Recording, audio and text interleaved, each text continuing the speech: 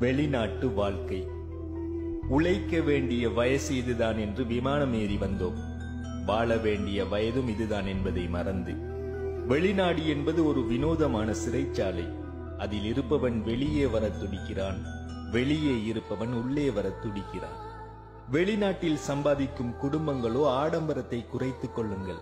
நீங்கள் செலவு செய்வது பணம் அல்ல சம்பாதிப்பவரின் வயதை. என்னை வளர்த்த பெற்றோரின் கடைசி காலத்திலும் இல்லாமல் நான் பெற்ற பிள்ளை வளரும் தருணத்திலும் இல்லாமல். என்ன வாழ்க்கை இது? வெளிநாட்டு வாழ்க்கை ஒரு மெழுகுவர்த்தி போலதான். தூரத்தில் இருந்து பார்த்தால் ஒளி மட்டும் தெரியும் அருகில் சென்று பாருங்கள் அவர்கள் உருகி கண்ணீர் வடிப்பதும் தெரியும். ஓடி ஓடி உழைத்தாலும் கையும் காலும் விரைத்தாலும் அன்பாக பேச யாரும் இல்லை காசு என்பது நிற்கவில்லை. கடன் தொல்லை தீரவில்லை சொன்னாலும் யாரும் நம்பவில்லை. உழைக்க வேண்டிய வயது என விமானம் ஏறி வந்து வாழ வேண்டிய வயதை தொலைத்து நிற்பதே இந்த வெளிநாட்டு வாழ்க்கை.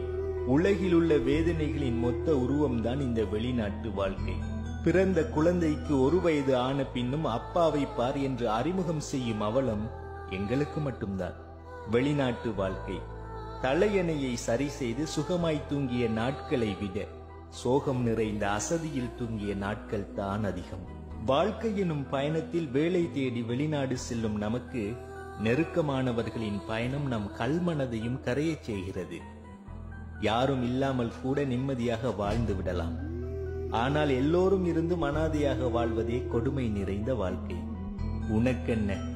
விமான பயணம் வெளிநாட்டு ராஜ வாழ்க்கை என்று ஊருக்கு போனதும் உள்ளூர் வாசிகள் எங்களை பார்த்து விடும் பெருமூச்சு வளைகுடா நாட்டின் அரபு நாட்டு வெப்பத்தை விட சற்று அதிகமாகவே சுடுகிறது. கல்யாணம் முடிந்த பிறகு விடுமுறை முடிந்து வெளிநாடு போகும் தருணம் என் கருவை சுமக்கும் மனைவியையும் சேர்த்து என் நெஞ்சில் சுமந்து கொண்டுதான் விமானம் ஏறுகின்றேன். வறுமைக்காக அயல் நாடு சென்று பணத்தை சேமிப்பதும் விடுமுறைக்கு தாய் நாடு வந்து நினைவுகள் சேமிப்பதுமே வெளிநாட்டு வாழ்க்கை. உள்நாட்டில் அடுப்பெரிய வெளிநாட்டில் விறகாய் எரியும் வாழ்க்கை. இதுதான் வெளிநாட்டு வாழ்க்கை.